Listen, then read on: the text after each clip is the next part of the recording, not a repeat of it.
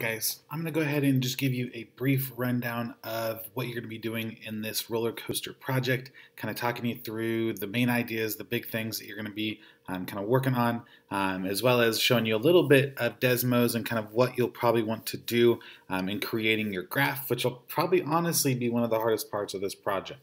Um, so as far as the description goes, um, you'll be using your newly acquired knowledge of polynomials to construct a polynomial roller coaster. Um, people who love math that are going to come from all over the world to take a look at and maybe even ride your roller coaster. So, are you going to build a thrilling roller coaster for the adrenaline junkies out there, or maybe a more pleasant ride that families can enjoy together? Only you know the answer to these questions, and the world can't wait to find out. That's what this project is going to be. So to start off with, just some basics of your roller coaster. What are you going to call it? What's the theme going to be? Is it Western space? Who knows? Um, what type is it going to be? So is it going to be high thrill, low thrill? Are you going to make it wooden, steel? What's it going to be made out of? And then what are maybe some ideal parks? Do you want it to be built in Disney World? Do you want it to be built in Six Flags or maybe Worlds of Fun? Where do you see this roller coaster ending up? So to start off with, you're going to have to come up with a graph. And again, this is going to be the hardest part, um, is coming up with that graph. I'm suggesting you to use Desmos. If you try to use your own graphing calculator, it's going to be pretty hard to, to get it to work out. Um, so, so definitely would suggest using Desmos, uh, and I'll show you that in just a moment. Um, you're going to want to start by writing your polynomial in factored form. Um, the x-axis is going to represent seconds, um, so so think about the time that you want the ride to, the ride to last for. Um, roller coasters on average last anywhere from 30 seconds to over 120 seconds, which would be two minutes. Um, so keep in mind kind of how long you want your ride to be. Um, don't forget that your factors can also include multiplicities, so feel free to mix some exponents in there and put an expo or a, a solution at x equals zero. Um, the leading coefficient is probably going to need to end up being very small, um, something like 0.001 or less, um, in order to kind of uh, make your ride a little bit more feasible. Otherwise, you're going to have very high hills that drop very quickly, which maybe you want. Who knows? So here's how I would suggest typing in your function. Um, in Desmos, obviously, you don't need the p of x equals part. You go straight to typing in your parentheses and factors. Um, I left it blank for leading coefficient um, once you figure out what that's going to be, and then you'll just type in what the factors are. Um, feel free to add more or take some away, um, but you have to have at least four factors, including multiplicities, for your ride. Um, and then you'll put a picture of it in right here. Let's real quick go to Desmos and I'll kind of show you what I mean. Um, so maybe you want for your polynomial to start by going through a factor of x equals 0. Um, so maybe we'll start with x, and then we'll add in some more factors, maybe x minus 8. We'll go x minus 12, and then I'll make mine a, a short ride, um, maybe x minus 25. Now, as you can see, I'm only going to go from 0 to about 25 seconds, um, so it's going to be a fairly short ride. Um, but if you're looking at it, notice that it's going up very, very high and very, very low. In fact, you wouldn't even be able to zoom, zoom out to be able to see all of it. So here's what I would recommend doing, is going and in front of your variable, uh, making it a little bit smaller. Notice that if I make the leading coefficient a number um, very close to zero, like 0.01, I can actually start to see parts of my graph and, and where it's turning and all of that sort of stuff. Um, let me go ahead and maybe make it 0.001. Hey, I can at least see most of my graph there.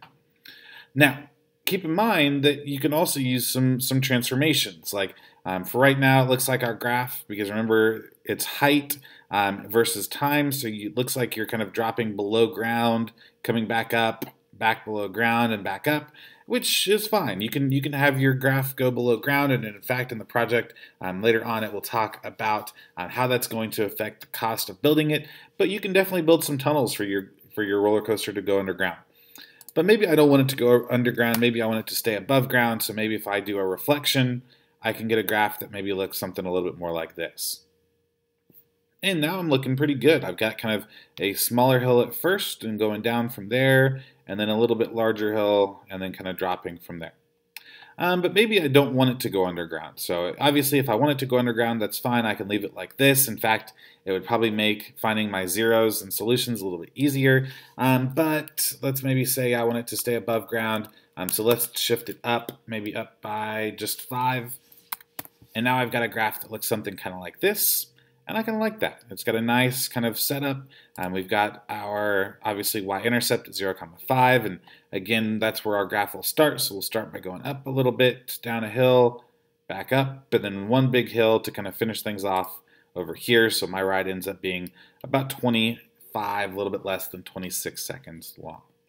So you'll do something similar. Obviously, feel free to add more factors. Remember that you have to have at least four. Uh, my four were that x equals 0, x equals 8, 12, and 25. Obviously, those have changed because of my leading coefficient as well as my shift up by 5. Um, so kind of keep that in mind, kind of play around with it until you get a graph that looks like you want it to. All right, going back to the project. Once you've figured out what your graph is going to look like, uh, make sure to insert a picture of that with the labels, um, and then you can describe your graph. Uh, now, when you describe it, kind of some interesting stuff you can do. Um, think about, are you going to have any sort of loops or barrel rolls, twists and turns? Especially for loops, guys, let me kind of get you thinking about this as far as our graph goes. Um, notice that on our graph that this right here looks like it's a hill. If you think about it though, all you're saying at that point on the graph is that your ride goes up and then comes back down. So I mean, if you wanted to, instead of thinking of it as a hill, think about it as a loop. If you were to think about height versus time, so here's what that looks like again as far as the height and time goes. But when you think about what that could represent, that could also represent a loop because technically, you know, while the height's going up and then back down, once again, with the loop, your height is going up and then back down. So you could think of these kind of hills as actual hills, or you could be a little bit more creative, think about them as loops as well. Now, obviously, in between there, you can also think about um, as your graph is maybe going down or back up, mixing in some barrel rolls where the where the ride's going to kind of spiral, uh, maybe some sharp turns and twists that are in there. So don't think of this as just a little kind of two-hilled roller coaster. It can be anything you want it to be. All right, now obviously we do have to do some math, and like we said, it is going to be a major attraction for math lovers everywhere. Um, so you are going to need to fill in um, some of the key features for it. Um, for standard form, again, I've kind of mentioned how to do that and classifying, and then you'll go through and kind of identify all of those key features, um, everything from the relative maxes and mins down to the number of real and complex solutions. So you're going to be kind of applying everything that we've done in this unit right there. Um, obviously, there's some more stuff going on here as well, um, where you'll talk about some features of the ride, like the time it takes for your um, ride to get back to the station, the number of tunnels um, that you are going to have to build, um, if it's ever going to go below ground, um, what the biggest drop is for your ride, and then obviously a little bit more math here with the solutions. Now at the very end, you'll go ahead and ca calculate a cost for your ride. Um, so you'll calculate that based on the features that you've added in. If there's anything that you don't see up there that you would like to add, just let me know and we can kind of come up with a cost for that um, as well. Now, once you're done with all of that, that's the project. It is worth 50 points out of the total 100. The other 50 come from your presentation as well as your discussion board posts. So, as you start to think about your presentation, um, start to think about how you can sell your roller coaster and sell the idea of it. Um, in fact, in, in, years past, what I've had students do um, is they've actually had to try to sell their ideas to a Shark Tank. So for those who have seen the show Shark Tank, you'll know what I'm talking about. Um, but they actually had to sell their ideas to um, their classmates to try to see if anyone would actually buy their roller coaster um, to be able to put it in their park. Now, obviously, we're not going to be able to do that this year, um, but still kind of keep that in mind as you are working on your presentation. To give you a little bit more information about the presentation, let's go ahead and take a look at the rubric for that. Um, here is what you're going to be assessed on for your presentation. Um, the audio component and visual component are kind of givens. We need to be able to hear you and see your project. Um, also, don't forget the other stuff that needs to go into it as well. Um, and for more information, I've given you some brief descriptions um, below the rubric to let you know kind of what I'm looking for as far as the presentation goes. In addition, don't forget that you will be posting this to a discussion board. Um, you'll get four points once you post it, and then you'll get three more points for the two replies um, that you'll do for your classmates. Now, there are going to be some opportunities for extra credit. In fact, um, let's take a look at what we're going to have as options there. Um, so the opportunities you, you have for extra credit, and this is between all three of my classes, not just your one class.